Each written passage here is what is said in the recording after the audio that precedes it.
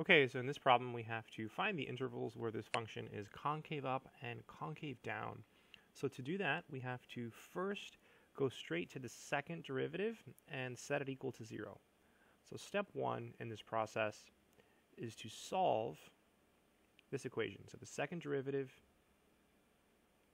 and then that's equal to zero. So we want to solve for this. Also, uh, if there's any asymptotes or anything funny or any domain issues, we want to make note of that in this step as well.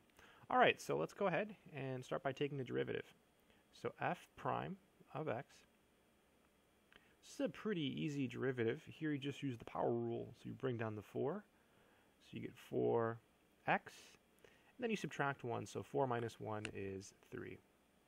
Same thing here. So 3 times 3 is going to give us 9. Then you subtract 1 from the x. So 3 minus 1 is 2. So now we have to do it again because we want the second derivative. So f double prime of x is equal to, let's see, so 3 times 4, that would be 12. We subtract 1, so 3 minus 1 is 2. And here we go. Looks like uh, minus 18 x, right? Subtracting 1, so you get 1. All right, there's no domain issues. There's no vertical asymptotes in the original question.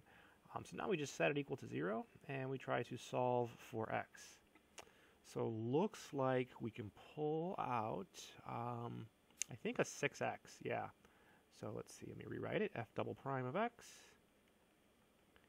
equals 6x. Yeah, because 6 goes into 12 two times. So that will give us 2x. And it goes into 18 three times, so minus 3. And this is equal to 0. All right, we have a product equal to 0, so we can set each factor equal to 0. So 6x equals 0, or 2x minus 3 equals 0. Divide by 6, so it's going to give us x equals 0. So this doesn't really have a name, this number. It's it's kind of like a critical number, but it's not, right? Critical numbers come from the first derivative. These are coming from the second derivative, so I'm not sure if these actually have names. Uh, we can add a 3, so 2x equals 3, and then divide by 2. So we have two possible points of interest. That's what I call these. These are places uh, where the concavity uh, might change. The second step is to take these numbers and put them on a number line. So step two, we're going to make what's called a sign diagram. So make a sign diagram for f double prime. That's the name uh, that it's often given. Use a different color here. So we draw a little number line, and we plot our answers from step one.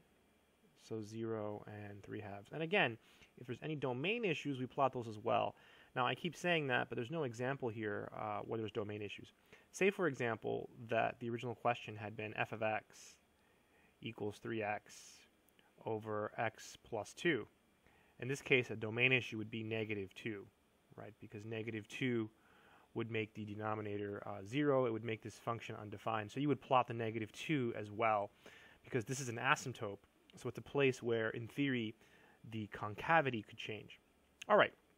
But in this problem, we just had these two numbers, so we're there. So now you pick test points and you plug them into the second derivative. That's the reason I rewrote f double prime uh, so many times. You know, a lot of times uh, you wouldn't write it, you would just set this equal to zero and you wouldn't uh, keep writing it. I wrote it over and over again because now we're going to use this. I wanted to preserve this piece and keep it nice and pretty. So let's pick a test point. We can pick any number we like over here. So how about negative 1? So f prime of negative 1 is equal to 6. Whoop, f double prime of negative 1 is equal to 6 times negative 1. 2 times negative 1 minus 3. This will be, let's see, negative 6. And then negative 2 minus 3 is negative 5. This is a positive 30. This is positive.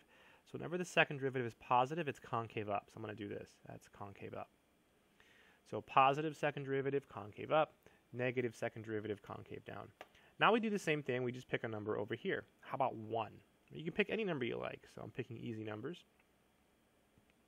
This is 6 times 1. This will be 2 times 1 minus 3. So it'll be uh, 6 times negative 1. So that's negative 6. That's less than 0. So here it'll be concave down. Right, concave down. And one more, number bigger than 3 halves. Uh, well, let's see, 3 halves is 1.5. So how about 2? So f double prime of 2. So 6 times 2. And then 2 times 2 minus 3.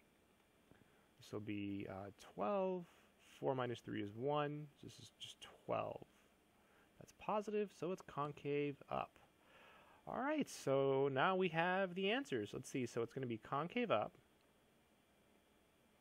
The question wanted the intervals, so I'm going to write them separately. So it'll be negative infinity to 0. That's, that's our first interval.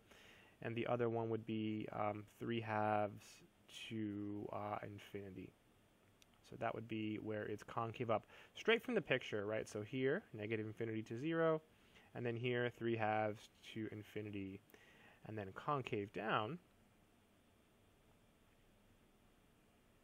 Let's see, concave down will be here in the middle, right? So 0, 0 to uh, 3 halves. And that would be the answer. So a really quick recap of, of the steps. Uh, it's all about the steps in these problems. This one happens to be like a really easy one in comparison to many of the other problems that you study in calculus. So what makes it easy or hard is the derivative. This is a really easy derivative. So you just take the derivative twice. Uh, there's no division by zero. There's no square roots. You don't have to worry about those things. Set it equal to zero. We solve. We got two numbers, zero and three halves. Then you take these and you put them on a number line. This is called a sign diagram for the second derivative. Then you just pick test points. Um, you pick one over here on the left, you plug it into the second derivative. It was positive, so it's concave up. We picked one here in the middle, plug it into the second derivative. It was negative, so it's concave down. We picked one here. Uh, we picked two that was positive, so it's concave up. So it'll be concave up from negative infinity to 0, and also from uh, 3 halves to infinity, and concave down from 0 to 3 halves. These points right here, well, this x value here, 0, and this x value here, 3 halves.